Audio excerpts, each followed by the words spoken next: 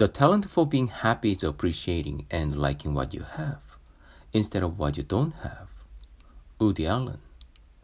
Do you know someone who's always saying, if only I had a better body, new clothes, different looks, nicer hair, or whatever, then I'd really be happy?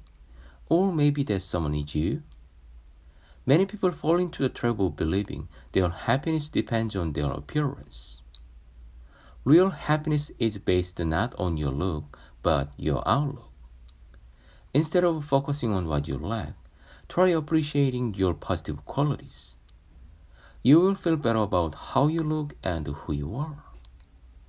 Today, I'll focus on my good qualities.